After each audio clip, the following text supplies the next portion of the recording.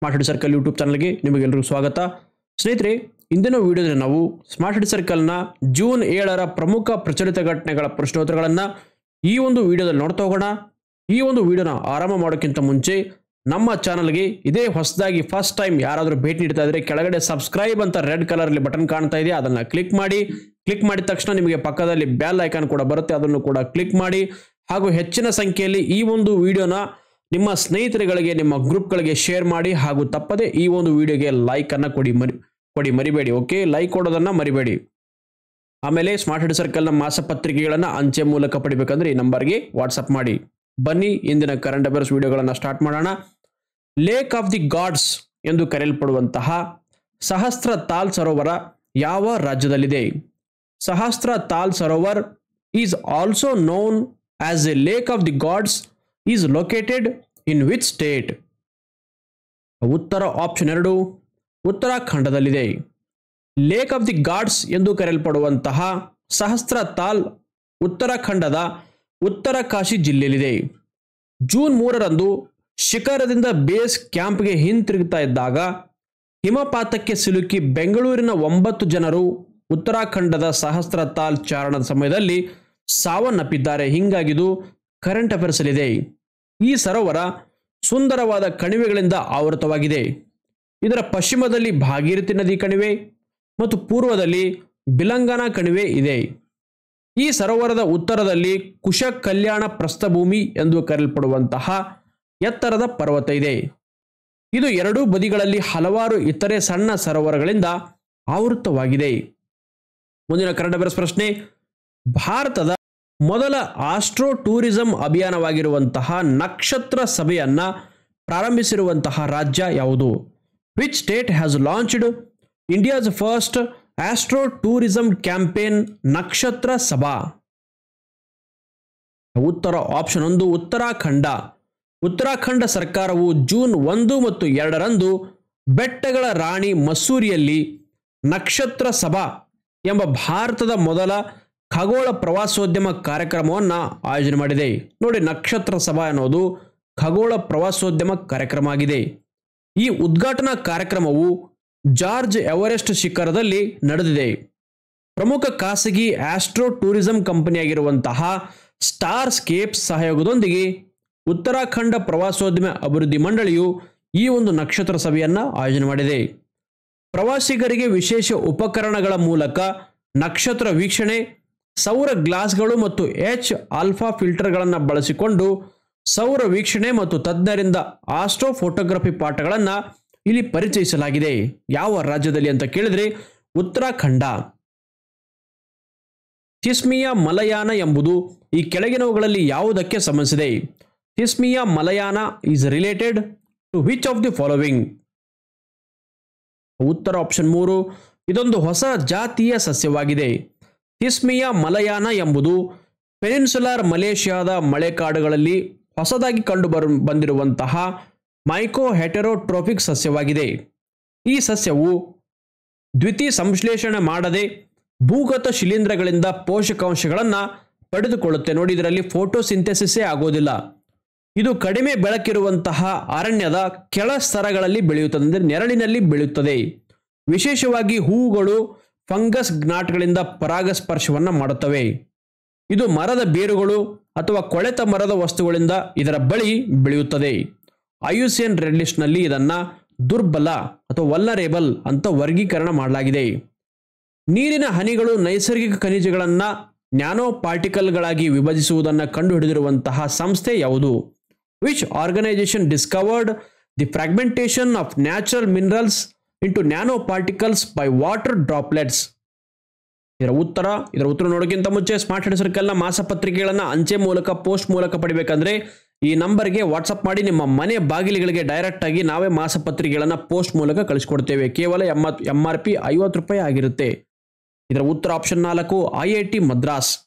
ಇತ್ತೀಚೆಗೆ I I T ಮದ್ರಾಸ್ನ ಸಂಶೋಧಕರು ನೀರಿನ ಮೈಕ್ರೋ ಡ್ರಾಪ್ಲೆಟ್ಗಳು ಸಾಮಾನ್ಯ ಖನಿಜಗಳನ್ನು ನ್ಯಾನೋ ಪಾರ್ಟಿಕಲ್ಗಳಾಗಿ ವಿಭಜಿಸುವಿಕೆಯನ್ನು ಕಂಡುಹಿಡಿದಿದ್ದಾರೆ. ಈ ಮಾಹಿತಿಯನ್ನು ಸೈನ್ಸ್ ಜರ್ನಲ್ ಅಲ್ಲಿ ಅವರು ಪ್ರಕಟ ಮಾಡಿದ್ದಾರೆ. ವಾತಾವರಣದ ನೀರಿನ ಹನಿಗಳು ಚಾರ್ಜ್ ಆಗಿ ಖನಿಜ ವಿಘಟನೆಗೆ ಸಹಾಯವನ್ನು ಮಾಡುತ್ತವೆ.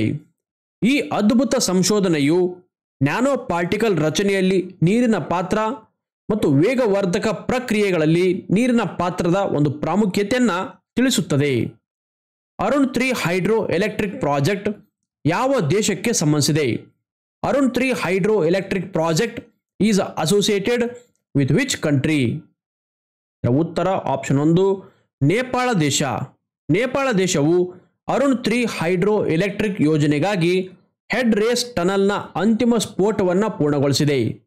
ಪೂರ್ವ ನೇಪಾಳದ ಅರುಣ್ ನದಿಯ ಮೇಲೆ ನೆಲೆಗೊಂಡಿರುವಂತಹ ಒಂಬೈನೂರು mega watt run of the river ಜಲವಿದ್ಯುತ್ ಉಪಕ್ರಮವು ವಿದ್ಯುತ್ ಉತ್ಪಾದನೆಗೆ ಸಹಾಯಕಾರಿ ಆಗಲಿದೆ. ಇದು ಭಾರತದ ಸಟ್ಲಜ್ ಜಲ ವಿದ್ಯುತ್ ನಿಗಮದ ಅಂಗಸಂಸ್ಥೆಯಾಗಿದೆ. ಇದು ಭಾರತ ಮತ್ತು ನೇಪಾಳ ಎರಡೂ ದೇಶಗಳಿಗೆ ಪ್ರಯೋಜನವನ್ನು ನೀಡುತ್ತದೆ ಅಂದರೆ ವಿದ್ಯುತ್ತನ್ನು ಎರಡೂ ಕಡೆ ನೀಡುತ್ತದೆ. ಪಂಪ್ ಮತ್ತು ಡಂಪ್ ಯೋಜನೆ ಈ ಕೆಳಗಿನವುಗಳಲ್ಲಿ ಯಾವುದಕ್ಕೆ ಸಂಬಂಧಿಸಿದೆ? Pump and dump scheme is related to which of the following? ಉತ್ತರ ಆಪ್ಷನ್ ಒಂದು, ಷೇರು ಮಾರುಕಟ್ಟೆಗೆ ಸಂಬಂಧಿಸಿದೆ. ಟೆಲಿಗ್ರಾಮ್ ಚಾನೆಲ್ಗಳಲ್ಲಿ ಪಂಪ್ ಮತ್ತು ಡಂಪ್ ತಂತ್ರದ ಮೂಲಕ ಷೇರು ಮಾರುಕಟ್ಟೆಯಲ್ಲಿ ಮೋಸ ಮಾಡುತ್ತಿರುವಂತಹ ಕೆಲವು ವ್ಯಕ್ತಿಗಳಿಗೆ ಸೆಬಿ ದಂಡವನ್ನು ವಿಧಿಸಿದೆ. ಈ ವ್ಯಕ್ತಿಗಳು ಟೆಲಿಗ್ರಾಮ್ನಲ್ಲಿ ಸುಳ್ಳು ಮಾಹಿತಿ ನೀಡುವುದರ ಮೂಲಕ ಹೂಡಿಕೆದಾರರಿಂದ ಹೂಡಿಕೆ ಮಾಡಿಸಿ, ಷೇರುಗಳ ಬೆಲೆಗಳನ್ನು ಒಮ್ಮೆಲೆ ಹೆಚ್ಚಳ ಮಾಡಿಸಿ, ಆ ಷೇರುಗಳನ್ನು ಹೆಚ್ಚಿನ ಬೆಲೆಗೆ ಮಾರಾಟ ಮಾಡಿ ಲಾಭ ಮಾಡಿಕೊಳ್ತಾ ಇದ್ದಾರೆ. ನೋಡಿ ಸಿಂಪಲ್ ಆಗಿ ಒಂದು ತಿಳ್ಕೊಳ್ಳಿ. ನೋಡಿ, ಇದೊಂದು ಟೆಲಿಗ್ರಾಮ್ ಚಾನಲ್. ಇದರಲ್ಲಿ ಸುಮಾರು ಮೂವತ್ತು ಸಾವಿರ ಜನ ಮೆಂಬರ್ಸ್ ಇದ್ದಾರೆ ಅಂತ ಅನ್ಕೊಳ್ಳಿ. ಇದೊಂದು ಷೇರು ಮಾರ್ಕೆಟ್ನ ಒಂದು ಟೆಲಿಗ್ರಾಮ್ ಚಾನಲ್ ಯಾರೋ ಒಬ್ಬರು ಶೇರ್ ಮಾರ್ಕೆಟ್ ರಿಲೇಟೆಡ್ ಒಂದು ಟೆಲಿಗ್ರಾಮ್ ಚಾನಲ್ ಮಾಡಿರ್ತಾರೆ. ಇದರಲ್ಲಿ ಸ್ಕ್ಯಾಮ್ ಮಾಡುವಂತಹ ವ್ಯಕ್ತಿಗಳು ಟೆಲಿಗ್ರಾಮ್ ಅಡ್ಮಿನ್ಗಳು ಏನು ಮಾಡ್ತಾರೆ ಅಂದ್ರೆ, ಈಗ ಷೇರು ಮಾರುಕಟ್ಟೆ ಷೇರುಪೇಟೆ ನಡೀತಾ ಇರುತ್ತೆ. ಓಕೆ ಸೆನ್ಸೆಕ್ಸ್ ಓಡ್ತಾ ಇರುತ್ತೆ. ಮಾರುಕಟ್ಟೆ ಓಡ್ತಾ ಇರುತ್ತೆ. ಆ ಟೈಮಲ್ಲಿ ಡೇ ಟೈಮಲ್ಲಿ ಏನು ಮಾಡ್ತಾರೆ ಅಂದ್ರೆ, ಈ ಟೈಮಲ್ಲಿ ಬೆಳಗ್ಗೆ ಒಂಬತ್ತುವರೆ ಅಥವಾ ಬೆಳಗ್ಗೆ ಹತ್ತುವರೆಗೆ ಷೇರುಗಳನ್ನು ಖರೀದಿ ಮಾಡಿ ಅಂತ ಹೇಳ್ಬಿಡ್ತಾರೆ. ಅದರಲ್ಲಿ ಮೂವತ್ತು ಸಾವಿರ ಜನರಲ್ಲಿ ಒಂದು ಐದುನೂರಿಂದ ಒಂದು ಸಾವಿರ ಜನ ಆ ಟೈಮಲ್ಲಿ ನಿಗದಿತ ಹೇಳಿರುವಂತಹ ಒಂದು ಎಚ್ ಎ ಎಲ್ ಅಂತ ಅಥವಾ ಯಾವುದೇ ಒಂದು ಯಾವುದೇ ಒಂದು ಕಂಪನಿ ಅನ್ಕೊಳ್ಳಿ ಅಥವಾ ಇನ್ಫೋಸಿಸ್ ಅಂತ ಕಂಪನಿ ಅನ್ಕೊಳ್ಳಿ. ಈ ಇನ್ಫೋಸಿಸ್ನ ಷೇರುಗಳನ್ನು ಬೆಳಗ್ಗೆ ಹತ್ತುವರೆಗೆ ತೆಗೆದುಕೊಳ್ಳಿ ಅಂತ ಹೇಳಿರ್ತಾರೆ. ಸುಮಾರು ಸಾವಿರ ಜನ ಈ ಒಂದು ಷೇರುಗಳನ್ನು ಹತ್ತುವರೆಗೆ ಪರ್ಚೇಸ್ ಮಾಡ್ತಾರೆ. ಮಾಡೋದ್ರಿಂದ ಈ ಇನ್ಫೋಸಿಸ್ನ ಒಂದು ಷೇರು ಬೆಲೆ ಏರಿಕೆ ಆಗುತ್ತೆ ಏರಿಕೆ ಆದ ತಕ್ಷಣ ಈ ಒಂದು ಗ್ರೂಪ್ನ ಅಡ್ಮಿನ್ ಏನು ಮಾಡ್ತಾರಂದ್ರೆ, ತಾವು ಕೂಡ ಈ ಒಂದು ಕೆಳಗಡೆ ಇರುವಂತಹ ರೇಟಲ್ಲೇ ಪರ್ಚೇಸ್ ಮಾಡಿರ್ತಾರೆ. ಪಾಪ ಈ ಒಂದು ಸಾವಿರ ಜನ ಏನು ಇನ್ವೆಸ್ಟ್ ಮಾಡಿರ್ತಾರೆ, ಇದು ತುದಿಗೆ ಉತ್, ಉತ್ತುಂಗಕ್ಕೆ ಏರಿದಾಗ ಅದನ್ನ ಸೇಲ್ ಮಾಡಿಬಿಡ್ತಾರೆ. ಈ ಒಂದು ಅಡ್ಮಿನ್ಗಳು ಇದನ್ನ ಮಾರಾಟ ಮಾಡಿಬಿಡ್ತಾರೆ. ಮಾರಾಟ ಮಾಡಿ ತಾವು ಲಾಭವನ್ನು ಗಳಿಸ್ಕೊಂಡ್ಬಿಡ್ತಾರೆ. ಆಮೇಲೆ ಇದು ಯಥಾಸ್ಥಿತಿ ಮತ್ತೆ ಡೌನ್ ಆಗಿ ಇಳಿಯುತ್ತೆ. ಇದರಿಂದಾಗಿ ಈ ಒಂದು ಸಾವಿರ ಜನರ ಲಾಭ ಇಲ್ಲಿ ಕುಸಿದು ಹೋಗುತ್ತೆ. ಅವರು ನಷ್ಟವನ್ನ ಅನುಭವಿಸ್ತಾರೆ. ಸೊ ಹಿಂಗೆ ಮಾಡೋರನ್ನ ಸೆಬಿ ಐಡೆಂಟಿಫೈ ಮಾಡಿ ದಂಡವನ್ನ ಹಾಕಿದೆ. ಇದರಿಂದಾಗಿ ಹೂಡಿಕೆದಾರರು ಗಮನಾರ್ಹ ನಷ್ಟವನ್ನ ಅನುಭವಿಸ್ತಾ ಇದ್ದಾರೆ. ಮಾರುಕಟ್ಟೆಯ ಸಮಗ್ರತೆ ಮತ್ತು ಹೂಡಿಕೆದಾರರ ವಿಶ್ವಾಸವನ್ನ ಕಾಪಾಡುವ ಗುರಿಯನ್ನ ಹೊಂದಿರುವಂತಹ ಸೆಬಿ ಈ ಅಭ್ಯಾಸವನ್ನ ಕಟ್ಟುನಿಶ್, ಕಟ್ಟುನಿಟ್ಟಾಗಿ ನಿಷೇಧ ಮಾಡುತ್ತೆ. Securities and exchange board of India ಅಥವಾ ಸೆಬಿ ಇದನ್ನ ಸಾವಿರದ ಒಂಬೈನೂರ ತೊಂಬತ್ತೆರಡರಲ್ಲಿ ಶಾಸನಬದ್ಧ ಸಂಸ್ಥೆಯಾಗಿ ಸ್ಥಾಪನೆ ಮಾಡಲಾಯಿತು. ಇದು ಭಾರತದಲ್ಲಿನ ಷೇರು ಮಾರುಕಟ್ಟೆಯ ನಿಯಂತ್ರಕವಾಗಿದೆ. ಪರೀಕ್ಷೆಯಲ್ಲಿ ಹಲವಾರು ಬಾರಿ ಇದನ್ನ ಪ್ರಶ್ನೆಯಲ್ಲಿ ಕೇಳಲಾಗಿದೆ. ಷೇರು ಮಾರುಕಟ್ಟೆಯ ನಿಯಂತ್ರಕ. ಪ್ರಧಾನ ಕಚೇರಿಯನ್ನ ಮುಂಬೈನಲ್ಲಿ ಸಭಿ ಹೊಂದಿದೆ. ಶ್ರೀಮತಿ ಮಾಧವಿ ಪುರಿ ಬುಚ್ ಸಭೆಯ ಪ್ರಸ್ತುತ ಅಧ್ಯಕ್ಷರಾಗಿದ್ದಾರೆ. ಮುಂದಿನ ಕರೆಂಟ್ ಅಫೇರ್ಸ್ ಪ್ರಶ್ನೆ. ಇತ್ತೀಚೆಗೆ ಬಿಹಾರದ ಯಾವ ಎರಡು ಪಕ್ಷಿಧಾಮಗಳನ್ನು ಹೊಸ ರಾಮ್ಸಾರ್ ಸೈಟ್ ಅಂತ ಘೋಷಣೆ ಮಾಡಲಾಗಿದೆ. Which two bird sanctuaries in Bihar have been declared as new Ramsar sites recently ಉತ್ತರ ಆಪ್ಷನ್ ಮೂರು, ನಾಗಿ ಮತ್ತು ನಕ್ತಿ ಪಕ್ಷಿಧಾಮ. ಭಾರತವು ಬಿಹಾರದ ನಾಗಿ ಮತ್ತು ನಕ್ತಿ ಪಕ್ಷಿಧಾಮಗಳನ್ನು ಹೊಸ ರಾಮ್ಸರ್ ತಾಣಗಳು ಅಂತ ಘೋಷಣೆ ಮಾಡಿದೆ. ಬಿಹಾರದ ಜಮುಯಿ ಜಿಲ್ಲೆಯಲ್ಲಿರುವಂತಹ ನಾಗಿ ಪಕ್ಷಿಧಾಮ ಮಾನವ ನಿರ್ಮಿತ ಜಲಾಶಯವಾಗಿದ್ದು ಬಾರ್ ಹೆಡೆಡ್ ಹೆಬ್ಬಾತುಗಳು ಮತ್ತು ರೆಡ್ ಕ್ರೆಸ್ಟೆಡ್ ಪೊಚಾರ್ಡ್ನಂತಹ ವೈವಿಧ್ಯಮಯ ವಲಸೆ ಪಕ್ಷಿಗಳಿಗೆ ಇದು ಆತಿಥ್ಯವನ್ನು ವಹಿಸುತ್ತದೆ. ಜಮ್ಮುಯಲ್ಲಿರುವಂತಹ ನಕ್ತಿ ಅಭಯಾರಣ್ಯ ಇಪ್ಪತ್ತು ಸಾವಿರಕ್ಕೂ ಹೆಚ್ಚು ಪಕ್ಷಿಗಳಿಗೆ ಚಳಿಗಾಲದಲ್ಲಿ ಆವಾಸ ಸ್ಥಾನವಾಗಿದ್ದು, ಬಂಗಾಳದ ನರಿ ಮಾನಿಟರ್ ಹಲ್ಲಿಯಂತಹ ಪ್ರಾಣಿಗಳಿಗೆ ಆಶ್ರಯ ನೀಡಿದೆ. ಈ ಎರಡು ಅಭಯಾರಣ್ಯಗಳು ಗಂಗಾ ಜಲಾನಯನ ಪ್ರದೇಶದ ಜೀವವೈವಿಧ್ಯಕ್ಕೆ ಕೊಡುಗೆಯನ್ನು ನೀಡುತ್ತವೆ. ರಾಮ್ಸಾರ್ ಸಮಾವೇಶದ ಬಗ್ಗೆ ತಿಳ್ಕೊಳ್ಳೋದಾದರೆ ರಾಮ್ಸಾರ್ ಸಮಾವೇಶ ಅಥವಾ ರಾಮ್ಸಾರ್ ಕನ್ವೆನ್ಷನ್, ಜೌಗು ಪ್ರದೇಶಗಳ ಅಥವಾ ವೆಟ್ಲ್ಯಾಂಡ್ಗಳ ರಕ್ಷಣೆಯನ್ನು ಉತ್ತೇಜಿಸುವ ಒಂದು ಅಂತಾರಾಷ್ಟ್ರೀಯ ಒಪ್ಪಂದವಾಗಿದೆ. ಈ ಒಪ್ಪಂದಕ್ಕೆ ಎರಡು ಫೆಬ್ರವರಿ ಸಾವಿರದ ಒಂಬೈನೂರ ಎಪ್ಪತ್ತೊಂದರಂದು ಇರಾನಿನ ಕ್ಯಾಸ್ಪಿಯನ್ ಸಮುದ್ರದ ಕರಾವಳಿಯ ನಗರವಾಗಿರುವಂತಹ ರಾಮ್ಸಾರ್ ಸಿಟಿಯಲ್ಲಿ ಈ ಒಪ್ಪಂದಕ್ಕೆ ಸಹಿ ಮಾಡಲಾಗಿದೆ. ಹೀಗಾಗಿ ಇದಕ್ಕೆ ರಾಮ್ಸಾರ್ ಕನ್ವೆನ್ಷನ್ ಅಥವಾ ರಾಮ್ಸಾರ್ ಸಮಾವೇಶ ಅಂತ ಕರೆಯಲಾಗುತ್ತೆ. ಇದರಲ್ಲಿ ಜೌಗು ಪ್ರದೇಶಗಳ ರಕ್ಷಣೆಯನ್ನ ಮಾಡಲಾಗುತ್ತೆ. ಆದ್ದರಿಂದ ಇದನ್ನ ರಾಮ್ಸಾರ್ ಸಮಾವೇಶ ಅಂತ ಕರೆಯಲಾಗುತ್ತದೆ. ಇದನ್ನು ಸ್ಥಾಪಿಸಿದ್ದು ಯುನೆಸ್ಕೋ. ಇದರ ನೆನಪಿಗಾಗಿ ಪ್ರತಿ ವರ್ಷ ಫೆಬ್ರವರಿ ಎರಡರಂದು ವಿಶ್ವ ಜೌಗು ದಿನ ಅಥವಾ ವರ್ಲ್ಡ್ ವೆಟ್ಲ್ಯಾಂಡ್ ಡೇ ಅಂತ ಫೆಬ್ರವರಿ ಎರಡನ್ನ ಆಚರಿಸಲಾಗುತ್ತದೆ. ವಿಶ್ವಸಂಸ್ಥೆಯ ಸುಮಾರು ತೊಂಬತ್ತು ಪ್ರತಿಶತ ಸದಸ್ಯ ರಾಷ್ಟ್ರಗಳು ಈ ಸಮಾವೇಶದ ಭಾಗವಾಗಿವೆ. ಆಮೇಲೆ ಕರ್ನಾಟಕದಲ್ಲಿ ಒಟ್ಟು ನಾಲ್ಕು ರಾಮ್ಸಾರ್ ತಾಣಗಳಿವೆ. ಮೊದಲನೇದಾಗಿ ಎರಡು ಸಾವಿರದ ಇಪ್ಪತ್ತೆರಡರಲ್ಲಿ ರಂಗನತಿಟ್ಟು ಪಕ್ಷಿಧಾಮವನ್ನು ಮೊಟ್ಟ ಮೊದಲ ಬಾರಿಗೆ ಕರ್ನಾಟಕದ ರಾಮ್ಸರ್ ತಾಣ ಅಂತ ಗುರುತಿಸಲಾಯಿತು. ಎರಡನೇದು, ಮೂರನೇದು, ನಾಲ್ಕನೇದಾಗಿ ಇತ್ತೀಚೆಗೆ ಅಂಕ ಸಮುದ್ರ ಕೆರೆ, ಆಮೇಲೆ ಅಗನಾಶಿನಿ ನದಿ ಮುಖಜ ಭೂಮಿ ಆಮೇಲೆ ಮಾಗಡಿ ಕೆರೆ ಅಥವಾ ಇದು ಅಂಕ ಸಮುದ್ರ ಮೀಸಲಂತ ಅನ್ಕೊಳ್ಳಿ. ಇವುಗಳನ್ನು ಒಟ್ಟು ನಾಲ್ಕು ಪ್ರದೇಶಗಳು ರಾಮ್ಸರ್ ಜೌಗು ತಾಣಗಳಾಗಿವೆ. ಯಾವುದರಿಂದ ಅಂದರೆ ಕರ್ನಾಟಕದಿಂದ. ತುಂಬ ಇಂಪಾರ್ಟೆಂಟ್ ಪರೀಕ್ಷೆಯಲ್ಲಿ ಕೇಳ್ತಾರೆ. ರಿವರ್ಸ್ ಟ್ರಾನ್ಸ್ಕ್ರಿಪ್ಟೇಜ್ ಕಿಣ್ವವು ಸಾಮಾನ್ಯವಾಗಿ ಯಾವ ರೀತಿಯ ವೈರಸ್ನೊಂದಿಗೆ ಸಂಬಂಧಿಸಿದೆ? Reverse transcriptase enzyme is commonly associated with which type of virus? ಉತ್ತರ ಆಪ್ಷನ್ ಒಂದು ರೆಟ್ರೋ ವೈರಸ್ ರಿವರ್ಸ್ ಟ್ರಾನ್ಸ್ಕ್ರಿಪ್ಟೇಜ್ ಕಿಣ್ವವು ರೆಟ್ರೋ ವೈರಸ್ ರೀತಿಯ ವೈರಸ್ನೊಂದಿಗೆ ಸಂಬಂಧಿಸಿದೆ. ಇತ್ತೀಚೆಗೆ ಸಂಶೋಧಕರು ಕ್ಲೆಬ್ಸಿಯಲ್ಲ ನ್ಯೂಮೋನಿಯಾದಲ್ಲಿ ನಿಯೋ ಎಂಬ ಪ್ರೋಟೀನ್ ಅನ್ನು ಗುರುತಿಸಿದ್ದಾರೆ. ಇದು ಪ್ರತಿಕೃತಿಯನ್ನು ನಿಲ್ಲಿಸುವ ಮೂಲಕ ಬ್ಯಾಕ್ಟೀರಿಯೋಫೇಜ್ ಸೋಂಕನ್ನು ಎದುರಿಸುತ್ತದೆ. ರಿವರ್ಸ್ ಟ್ರಾನ್ಸ್ಕ್ರಿಪ್ಟೇಜ್ ಅಥವಾ ಆರ್ ಟಿ ಎಸ್ ಮತ್ತು ಕೋಡಿಂಗ್ ಅಲ್ಲದ ಆರ್ ಎನ್ ಎ ಒಳಗೊಂಡ ಪ್ರಕ್ರಿಯೆಯ ಮೂಲಕ ನಿಯೋವನ್ನು ಉತ್ಪಾದಿಸಲಾಗುತ್ತದೆ. ನಿಯೋ ಅನ್ನೋದು ಒಂದು ಪ್ರೋಟೀನ್ ಆಗಿದೆ. ಆರ್ ಟಿ ಎಸ್ ಅಥವಾ ರಿವರ್ಸ್ ಟ್ರಾನ್ಸ್ಕ್ರಿಪ್ಟೇಜ್ಗಳು ಆರ್ ಎನ್ ಎ ಟೆಂಪ್ಲೇಟ್ಗಳಿಂದ ಡಿ ಎನ್ ಎ ಅನ್ನು ಸಂಶ್ಲೇಷಿಸುವಂತಹ ಒಂದು ಕಿಣ್ವಗಳು ಅಥವಾ ಎನ್ಸೈಮ್ಗಳಾಗಿವೆ ಇದು ಎಚ್ ಐ ವಿ ಅಂತಹ ರೆಟ್ರೋ ವೈರಸ್ಗಳಿಗೆ ನಿರ್ಣಾಯಕವಾಗಿದೆ. ಡ್ರಿಪ್ನೋ ನಗರವು ಯಾವ ದೇಶಕ್ಕೆ ಸಂಬಂಧಿಸಿದೆ? Dnipro city belongs to which country? ಉತ್ತರ ಆಪ್ಷನ್ ಎರಡು, ಉಕ್ರೇನ್ ದೇಶ.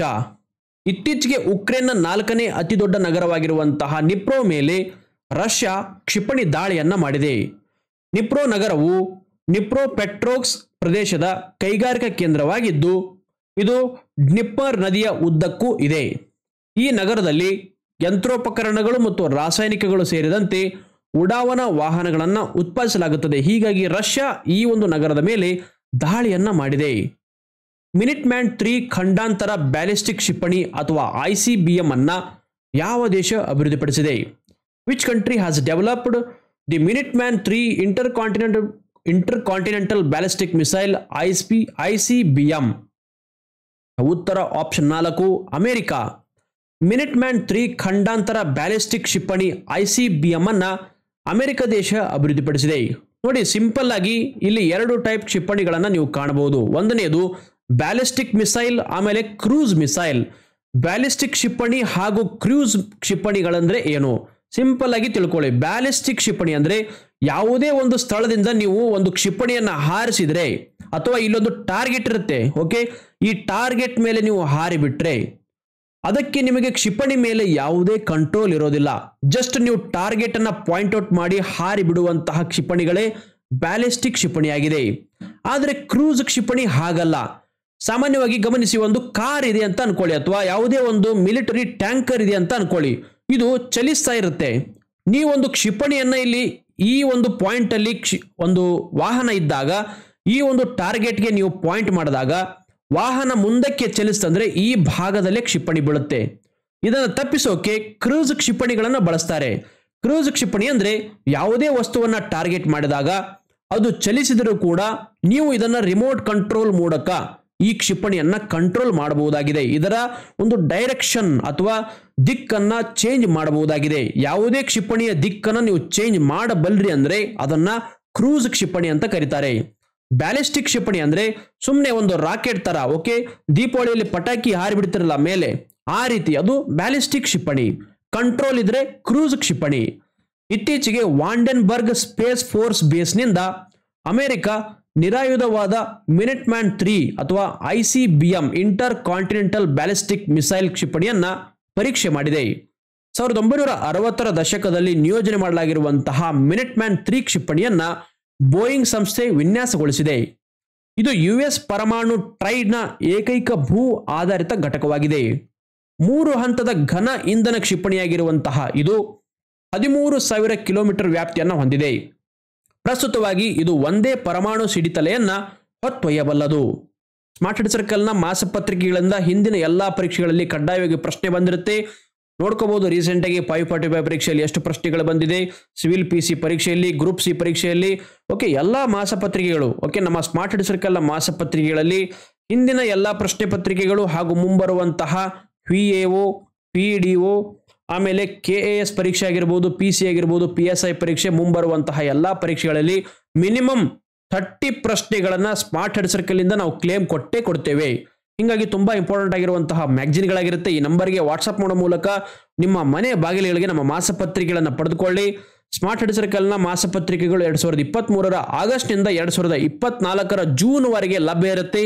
ಈ ನಂಬರ್ಗೆ nine three eight zero four six three one nine six ಈ ನಂಬರ್ಗೆ ವಾಟ್ಸಪ್ ಮಾಡಿ, ನಮಗೆ ಮ್ಯಾಗ್ಜಿನ್ಗಳು ಬೇಕು ಅಂತ ವಾಟ್ಸಪ್ ಮಾಡಿ, ನಿಮ್ಮ ಮನೆ ಬಾಗಿಲುಗಳಿಗೆ, ಲೈಬ್ರರಿಗಳಿಗೆ, ಪಿ ಜಿಗಳಿಗೆ ಎಲ್ಲ ಕಡೆ ಪೋಸ್ಟ್ ಮೂಲಕ ಆಲ್ ಓವರ್ ಇಂಡಿಯಾ ನೀವು ಎಲ್ಲೇ ಇದ್ರು, ಜಮ್ಮು ಕಾಶ್ಮೀರದಲ್ಲಿದ್ದರು ಸಿಕ್ಕಿಂನಲ್ಲಿದ್ದರು ಮಣಿಪುರದಲ್ಲಿದ್ದರು ಪಶ್ಚಿಮ ಬಂಗಾಳದಲ್ಲಿದ್ದರೂ ಕೂಡ ಎಲ್ಲ ಕಡೆ ನಾವು ಮಾಸಪತ್ರಿಕೆಗಳನ್ನು ಅಂಚೆ ಮೂಲಕ ಅತಿ ಕಡಿಮೆ ದರದಲ್ಲಿ ಕಳಿಸ್ಕೊಡ್ತೇವೆ. ಆಮೇಲೆ ರಾಜ್ಯಾದ್ಯಂತ ನಿಮ್ಮ ಹತ್ತಿರದ ಬುಕ್ ಸ್ಟೋರ್ಗಳಲ್ಲಿ ನಮ್ಮ ಮಾಸಪತ್ರಿಕೆ ಲಭ್ಯ ಇರುತ್ತೆ. ಆಮೇಲೆ ಜೂನ್ ತಿಂಗಳ ಮಾಸಪತ್ರಿಕೆ ಇದೇ ಭಾನುವಾರ ಅಥವಾ ಜೂನ್ ಒಂಬತ್ತರಂದು ರಾಜ್ಯಾದ್ಯಂತ ನಿಮ್ಮ ಹತ್ತಿರದ ಬುಕ್ ಸ್ಟೋರ್ಗಳಲ್ಲಿ ಸ್ಮಾರ್ಟ್ ಹಿಡ್ ಸರ್ಕಲ್ನ ಜೂನ್ ತಿಂಗಳ ಮಾಸಪತ್ರಿಕೆ ಲಭ್ಯ ಇರುತ್ತೆ. ಆಮೇಲೆ ನಮ್ಮ ಟೆಲಿಗ್ರಾಮ್ ಚಾನಲ್ಗೆ ಜಾಯಿನ್ ಆಗಬೇಕಂದ್ರೆ ಈ ನಂಬರ್ಗೆ ಟೆಲಿಗ್ರಾಮ್ನಲ್ಲಿ ಜಾಯಿನ್ ಮೀ ಅಂತ ಒಂದು ಮೆಸೇಜ್ ಮಾಡಿ.